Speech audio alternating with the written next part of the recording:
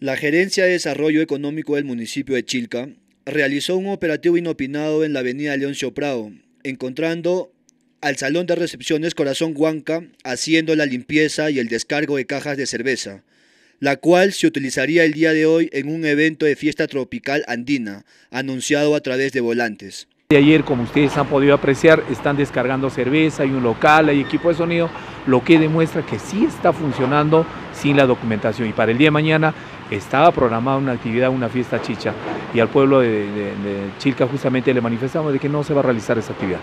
Los representantes del municipio manifestaron que este local no contaría con la licencia de funcionamiento y al igual que otros, abriría sus puertas sin tramitar la dicha licencia.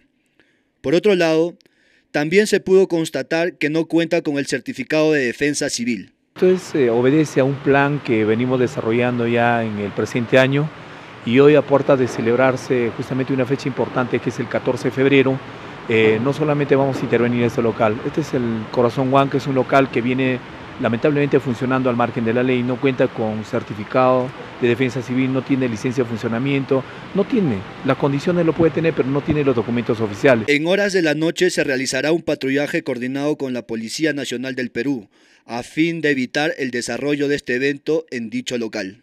Y el propietario está firmando en este momento un compromiso de palabra, un compromiso que el día de hoy no va a realizar ninguna actividad. Pero nosotros, nosotros con el fin de garantizar, vamos a montar una vigilia con la Policía Nacional, eh, los vecinos y los serenazgos, con el fin de que no funcione y no haya ninguna actividad el día de hoy. Por otro lado, el propietario se comprometió en agilizar los trámites correspondientes y en no realizar dicha festividad.